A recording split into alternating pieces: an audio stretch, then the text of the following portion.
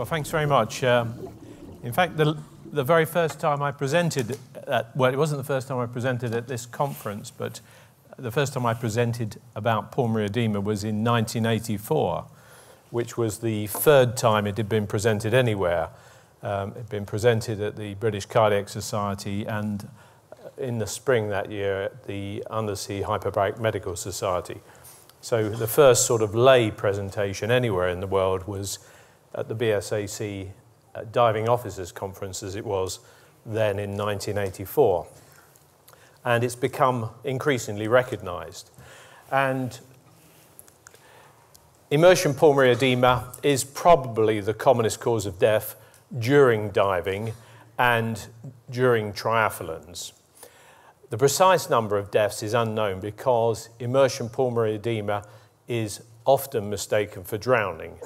In fact, I asked a Home Office pathologist how he told the difference between immersion pulmonary edema and drowning.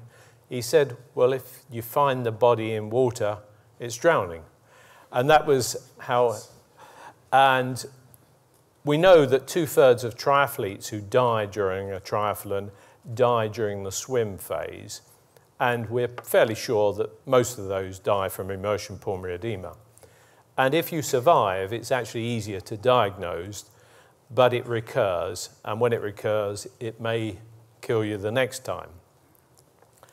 The, the first case that I ever saw was in 1977. I was in a boat diving with my branch. In fact, I, I don't think I'd gone in for the second dive at that point, and it was in Plymouth Sound, and one of the club instructors came up. She was 48, she'd been diving for 10 years. And on that dive, she'd only been at 20 meters for five minutes when she became very breathless. She said she hadn't inhaled water. She and her buddy surfaced at a safe rate. She was cyanosed or blue. She was coughing up blood and froth, but she said, don't worry, I've had this six times before and it, get, and it gets better. And uh, her chest x-ray at the time, you've got to remember this is from 1977, so it's not a perfect, it's got a bit of a smear on it, the chest x-ray.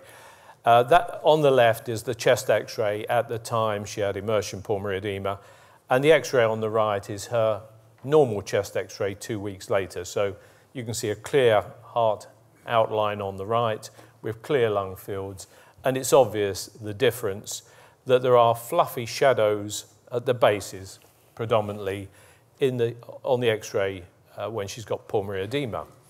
And it's important to notice that this shadowing is at the bases, not at the top. And that's because small pressure changes make the difference between whether your lungs are flooded or not. And the alveolar capillary pressure at the top of your lungs are a few millimeters of mercury or centimeters of water different from at the bottom.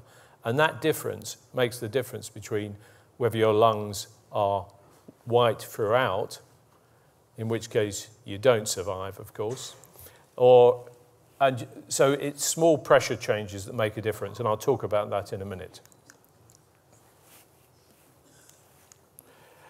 Um, so immersion pulmonary edema is, I'm not sure if I jumped to, no. Immersion pulmonary edema is precipitated, obviously, by being immersed, so swimming and diving. The diver will start coughing or feeling breathless. And um, if you're the buddy, you may notice that if they're on open circuit, there are, they're breathing rapidly. You may see uh, you know, rapid streams of bubbles coming out. They may change to an alternative air source. Or if they're on closed circuit, they may uh, be flushing uh, their set. When they get to the surface, there will be blood and froth uh, coming out their mouth often. Not always. If it's mild, they'll just be very breathless and maybe wheezy. But the important thing is that, that if they're breathless at the bottom and if they're on open circuit, their partial pressure of oxygen will drop as the partial pressure of oxygen in their lungs drops on open, open circuit as they come up so the partial pressure of oxygen, they were already breathless and had a low partial pressure of oxygen at the bottom, and that will get worse as they ascend. And it may be that when they near the surface, the partial pressure of oxygen in their brain is no longer enough to keep them conscious. And it's at that point that people have a shallow water blackout and sink. It's more common in uh, cold water. So the first three cases that I saw were all members of my branch. So it is quite common. So in 84, I was reporting a number of cases, and three of them were people I'd dive with. So it's perhaps may not have been recognized otherwise, but it is quite common. Um, but it's perhaps more common in this country because the water is a bit colder than many parts of the world. There is no doubt, and I'll talk about this in a minute, that if you prehydrate before diving, you increase your risk of immersion pulmonary edema. Exertion and stress increase the risk. A minority of people have heart disease that they didn't know about, but in fact, most people don't have heart disease as such. But hypertension is common, so this is much more of a problem in people who have hypertension. But some of the people who have it don't have hypertension at the time, but when you follow them up, they become hypertensive. And we wrote about that in The Lancet when we'd followed people up for eight or 10 years. And we wrote about that in 89. So it's quite clear that there is something the matter with your vascular uh, pressure changes uh, uh, when you have this condition that may not become apparent when you're out of the water for years. But it's important to know that it can occur in even super fit people. As I said, um, just over 1% of scuba divers will expect to get immersion pulmonary edema at some time when diving, and similar numbers of triathletes have been reported to have it uh, in, in the USA. Now, the Israeli Defense Force um, in fact, did experiments giving 18 to 20 year old fit recruits immersion pulmonary edema. And what they did is they got them to drink a lot of water and then do a surface swim, 2.4 kilometers. And more than a quarter of them developed immersion pulmonary edema. And they proved that this was reproducible by when they recovered, they made them drink a lot of water again and made them do the swim again and the, and the same ones got it again. But I've seen it in a member of the Special Boat Service who was incredibly fit. Uh, it's been reported in US Navy SEALs, and they get it in one lung. And the reason for that is, for whatever reason, US Navy SEALs are trained to swim on their side. So they get it on their in their bottom lung. It's reported in French Navy divers. So in fit people, now, this is um, a picture or schematic picture of an alveolus in your lung. It's a small air sac, and there are capillaries over the surface, and deoxygenated blue blood comes in, low oxygen content, high CO2 content, and as the capillary passes over the alveolar surface, there is a semi-permeable membrane effect if the separating the air in your alveolus or the gas in your alveolus from the blood. And gas like oxygen can diffuse in and carbon dioxide can diffuse out. And in fact, all small molecules can diffuse along their concentration gradients. But big things such as red cells and proteins, large molecules, cannot diffuse out. And this shows a normal lung on the left. And you'll see there are big air spaces just below the bottom, uh, sorry, just below the middle, you'll see there is a, a, a blood vessel, an arteriole. That's a, a feeding blood vessel. But the capillaries are actually surrounding each of these um, alveolar sacs. And on the right, you'll see pulmonary edema, and you'll see most of the sacs are full of fluid.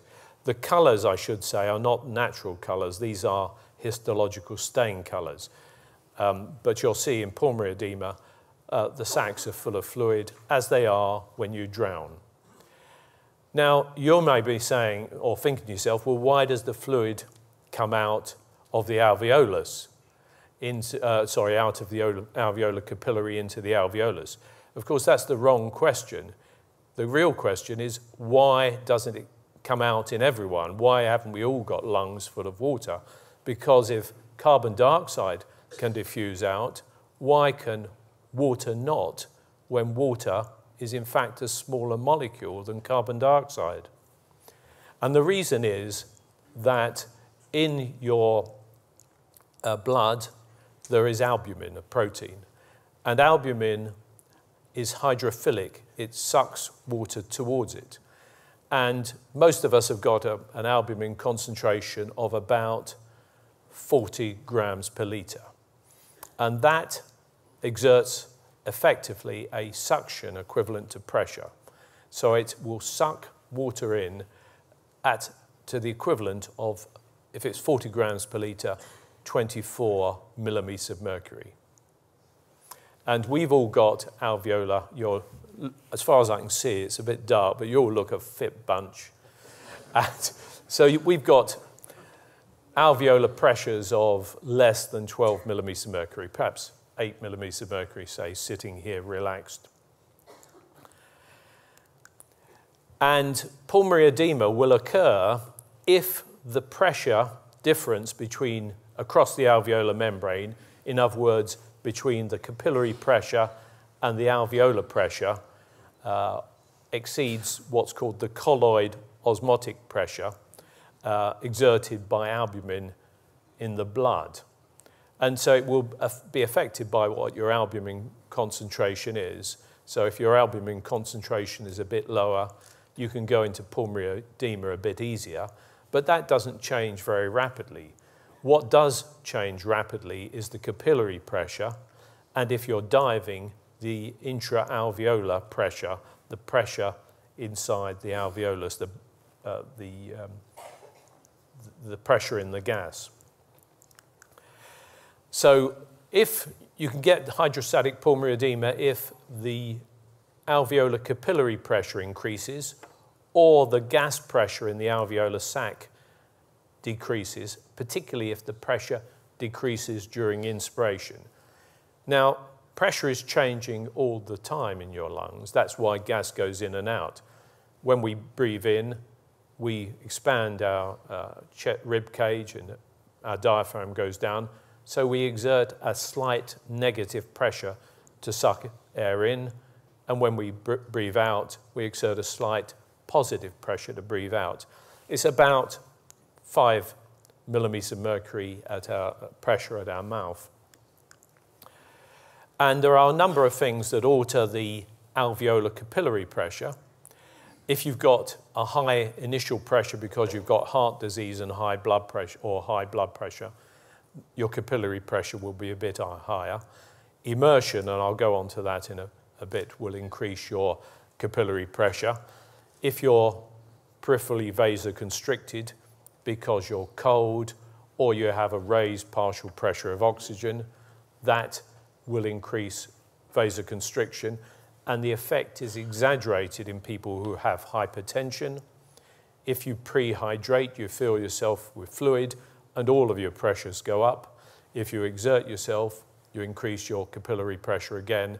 And if you are stressed and release adrenaline and catecholamines, you put your capillary pressure up even higher. So a number of factors will add together.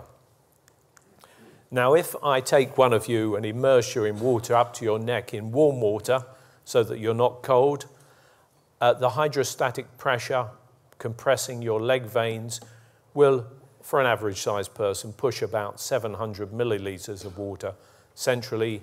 Your heart will increase in size by about half a liter. Um, your blood vessels will become engorged. Your filling pressures will go up 15, 20 millimeters of mercury. Now remember, you're already got a, uh, a capillary pressure of about 8 millimeters of mercury, we said. So if you're immersed and you put your filling pressures up another 15 millimeters of mercury, you're up to 23. You're on the edge of pulmonary edema, and that's in warm water. That's before you, you get cold or start breathing a high partial pressure of oxygen, which is going to vasoconstrict you.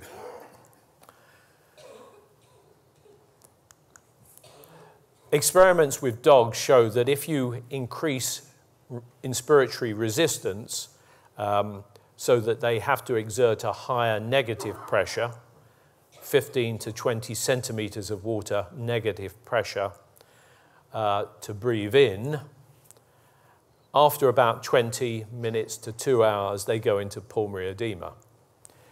The same happens with people. It happens acutely, particularly after people have had a general anesthetic. Very occasionally, after you've had a general anesthetic, when they pull the endotracheal tube out, you get laryngeal spasm, and um, that's a bit of a problem because you're then trying to breathe in, but your glottis is closed, so you're exerting a very powerful force to breathe in when you're, you can't bring any air in. So you produce a very powerful negative pressure and you get what's called flash pulmonary edema. Your lungs fill with water very quickly in seconds.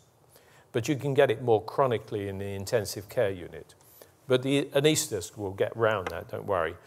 But, uh, and in fact, what they will do is they will put you on a ventilator and make it difficult for you to breathe out. They will put, so you've got positive pressure, you have to exert a positive pressure when you breathe out. And that higher positive pressure forces the water out of the alveolus. So the worst situation you can have um, in diving is to have a situation where it's difficult to breathe in, but easy to breathe out. Now, at the alveolus, it's the second line, the blue line you need to look at. The pressure changes when you breathe in. Um, there's a slight negative pressure, only about one centimeter of water pressure at the alveolus, uh, about five times that at the mouth. And when you breathe out, there is a, a one centimeter positive pressure when you, you're exerting on your alveolus to force the air out. But when you're immersed, the pressures are increased, and I'll show you a little diagram. Um, equipment can increase the resistance to inspiration and cause an increase in negative pressure, so make the, the inspiratory pressure more negative, and can decrease the resistance to expiration. We increasingly see um, immersion pulmonary edema in experienced divers who've never had a problem, but when they start using rebreathers. And I've seen people who've died from immersion pulmonary edema on their first, or I haven't seen them, I've seen the results of the post-mortem rather, um, on their first dive with a rebreather or people who've had it on their fourth or fifth dive. And many of these people have had recurrent events using rebreathers and then go back to using open circuit and have no problem. So there is a problem with rebreathers, and in fact, the French Navy have found that.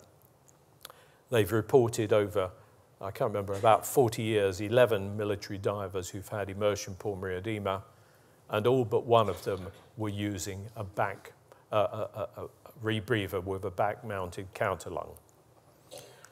Now, this has got, I, took, I didn't draw this myself, uh, took this off the internet, but it, it shows the points I wanted to make.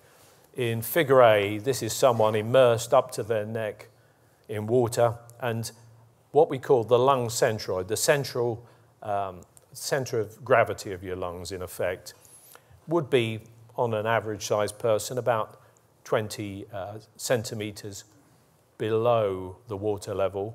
So when they breathe in, they've got to not only exert a slight negative pressure to breathe in, but they've got to exert another 20 centimeters of water to fill their lungs because the center of their lungs is 20 centimeters below the, sea, uh, the, surface of the water. And if they've got, um, in panel B, a um, open, cir uh, open, circuit um, uh, system, and they're breathing from a ordinary demand valve, uh, and they're upright in that position, you'll see that the demand valve is above the lung, lung centroid. So there will be a resistance to breathing um, because the regulator is above the lung centroid. There will also be an initial resistance to breathing because the, um, there's often an initial resistance to starting the airflow. But that will change if they would head down. So panel D, you'll see their head down. And in fact, in that situation, um, the situation is reversed and the lung centroid is above the demand valve. And so the mechanics of breathing varies in, with a uh, open circuit depending on your posture. It varies more than if you've got, as in panel C, a back-mounted rebreather uh, or with the counter lung mounted on your back because in most situations, the air in the counter lung at the end of inspiration, at the end of inspiration, will be at the top, whatever, the, whatever position the top of the counter lung is, it will be at the top of that, so it will always be above your lung centroid. So you will always be breathing with an extra negative pressure to counteract the fact that the air supply is above your lung centroid with a back-mounted rebreather counter lung. And here you can see, so whatever position this diver is in, the counter lung will be above uh, the lung centroid. So first aid. If the diver is conscious, you keep them sat up when you get them on the boat. You give them 100% oxygen. You keep them warm. That will encourage them to vasodilate. You don't give them any fluids, even a cup of tea, I wouldn't, although it's pretty healing, isn't it, a cup of tea? Um, and in severe cases, they will, well, uh, they should go to hospital, but in severe cases, they will need drugs to vasodilate them, diuretics, they're drugs to get them to pass water, to get fluid out of the system. They may need what we call um, continuous positive uh, airway pressure, CPAP, which in fact forces, it doesn't affect the capillary pressure, but it affects the alveolar pressure and forces the fluid back into the alveolar capillaries, and they may need mechanical ventilation. And what do we advise people who've had this? Well, we tell them that um, IPO can recur, it can be fatal. So we usually tell them not to dive again unless we can find a cause that's treated and uh, so they're then fit to return to diving. Um, for example, I've had people who've had a, a leaky heart valve. They present, a chap who presented with two episodes of immersion pulmonary edema. We found he'd got a very leaky heart valve. We repaired that, and he's back diving. But in those who have no obvious heart disease, uh, it's more difficult because we know they will be at risk again. They may be the people who are going on to develop hypertension in the future.